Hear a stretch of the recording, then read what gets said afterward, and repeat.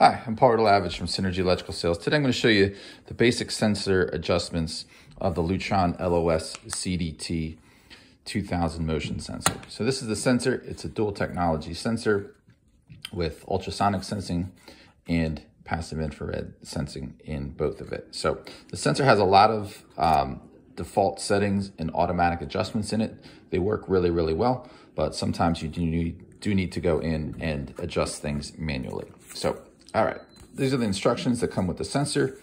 And um, we're gonna show you, again, the ones that I'm the most common with out in the field. So if we wanna adjust the sensitivity of the sensor, that means, let's say lights are not shutting off in a space, um, we will go ahead and do that. And we have to turn this B4, there's a little dip switch there. We're gonna turn that one on. Um, and that's gonna allow us to do that. All right. And then we have our passive infrared, which we can adjust over here. And we have our ultrasonic that we can adjust over here. So that's one adjustment that you may need to make.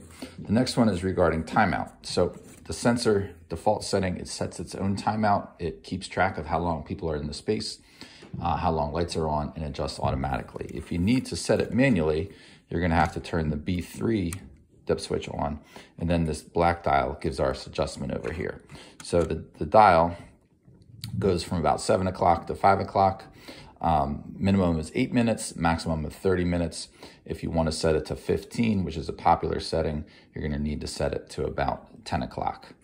Um, some of the other settings here, this um, over doorway, uh, I typically don't find sensors installed that way, so I don't use that one. Strong airflow, that one I've not personally used. Um, learn settings, I have not used that one. Generally, I find just switching to the B3 and the B4 um, and doing it manually is what I, I prefer. You could turn the LEDs off on the sensor because every time it search, senses motion, you get a little green flash and a red flash uh, on the sensor. Um, and then the last one here that I adjust is this A2. So um, that's regarding uh, sensitivity. So the sensor in its default setting, right, again, we have, we have ultrasonic, here and we have passive infrared. Well, for the lights to come on, uh, if you walk into, let's say, a corridor or a restroom, uh, for lights to go on, they have to sense with passive infrared um, first, and then it uses both technologies to keep the lights on. If you wanted it set up so that when uh, you walked in the space, the ultrasonic picked you up initially, that's where you would go ahead and turn that um, that A2 setting, you would turn that one on.